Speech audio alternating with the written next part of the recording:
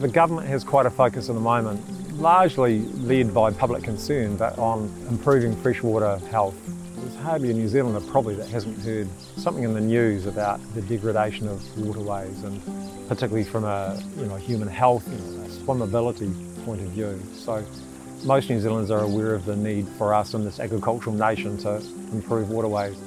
We talk to a lot of farmers and many of them are like, I want to do something, what do I do? How do I go about doing this? And so being able to, to go to them and say, well, here's some simple things that you could actually do yourself, which will all help improve the situation.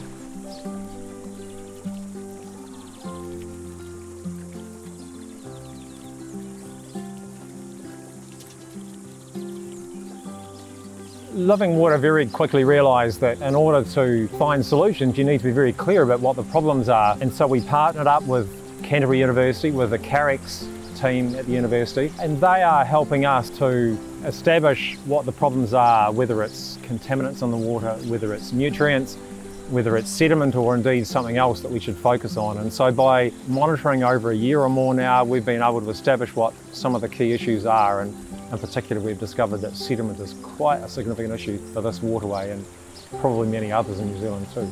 So you may be wondering, why should you care about sediment? Well, if you think about the biological nature of the stream, there's the bugs and the invertebrates that live in the cobbles or in the stones along the base of the stream. Now what happens when sediment flows in is that it fills the space in between those stones and that means that the invertebrates, the bugs, they lose their home and they lose their food. And when they disappear, then the fish, the whitebait, the eels, then they lose their food as well and so they leave, creating a dead stream. Now that doesn't sound like an issue, but these smaller streams in a farming context, when they flow into a bigger stream, which then flows into a bigger stream, then you get to the rivers that you want to use for swimming, but then they are now polluted by the contaminants coming off these smaller farmland streams. A financial benefit could be through the solution of building a sediment trap. You can trap the sediment in a fixed location instead of maintaining hundreds of metres downstream, saving you money in the long run. Sediment traps just one of the tools in our toolbox to deal with some of the issues in the agricultural landscape. They can be utilised in a range of different places on um, in sort of an ephemeral waterway, for example, or on these more permanent waterways. So they can be used at a, at a farm scale or on a catchment scale. They can be used by a, a local authority, such as the council that we're working closely with, um, or even a, a, regional council, for example, across a whole region. It is a case of horses for courses, and we see these as a useful tool where we could trap the sediment before it makes its way downstream. As part of CAREX, the, the role we serve is to investigate where the sediment's coming from, where the sediment is actually moving through the system and when it is moving through the system because obviously a flood is going to carry potentially more sediment than day to day.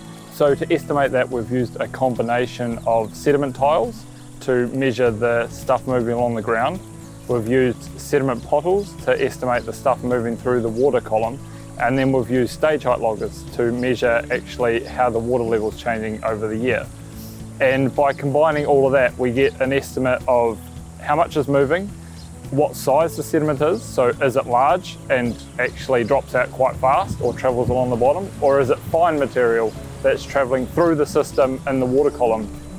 And the finer the material, the larger the sediment trap needs to be.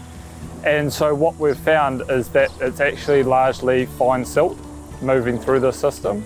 And so we've created a table where a farmer, a stakeholder, any person really is able to go to a stream and say it's this wide, it's a metre and a half wide, it's flowing at 0.2 metres per second, but that can be estimated just as simply throwing a stick into the water and measuring how long it takes to travel 10 metres five metres, just simple. From those two measurements, they are able to say, well, actually, to capture 50 to 60% of the sediment, it needs to be seven metres long and half a metre deep. For this table, we've gone for shallower but longer, and that's because the systems that we work in, being roadside or in farms, we want to limit the effect on the farmer themselves. So we've not changed the width, so the width fits within the system, and we've limited the depth so that there's less risk of bank collapse by digging deeper. And so that way the farmer should be able to implement this, plant along the side and not change how they manage the, the surrounding area that much. Okay, so this trap is uh, 12 metres long and about 0.9 of a metre deep. So all we're doing is digging a pool and we're getting the water velocity to decrease as it goes into the pool. And so you can see here that the water is moving quite quickly. And as it moves at a higher speed, the larger particles start to drop out. And so in this area here, we've got quite a bit of sand occurring. So sand is a heavier, larger particle than the very, very fine silt and mud that we get towards the bottom of the trap.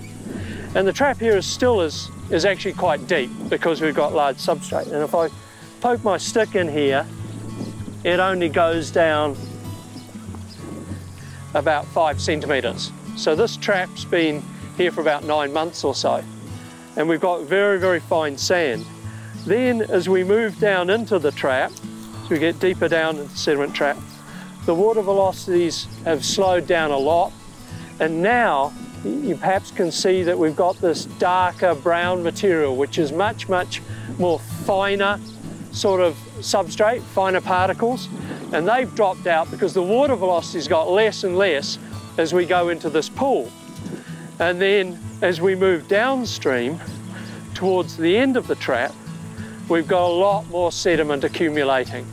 So the top of the trap is filling in slowly, but the bottom end of the trap, where the water speed is reduced enormously, is now starting to fill up. And this trap's getting fuller, fuller and fuller of fine sediment.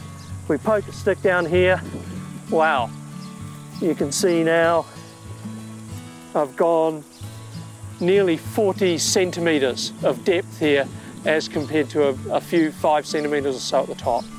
So the trap's filling out of this end. So this is probably coming to the stage where we would now think about emptying out this trap, getting the landowner to come and clean it out so that its efficiency continues over a long period.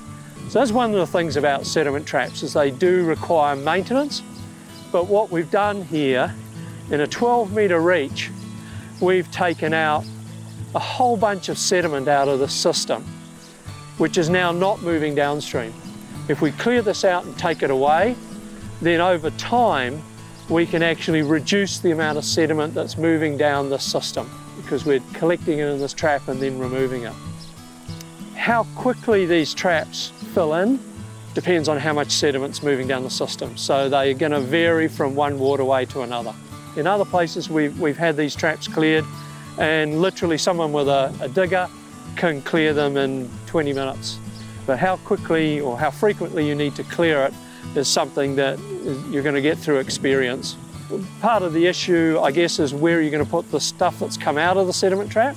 If, your if your farmer or landowner has paddocks around which have hollows in them and those sort of things, they can use this to fill up their, the low points in their ground so they won't necessarily have to cart it great distances.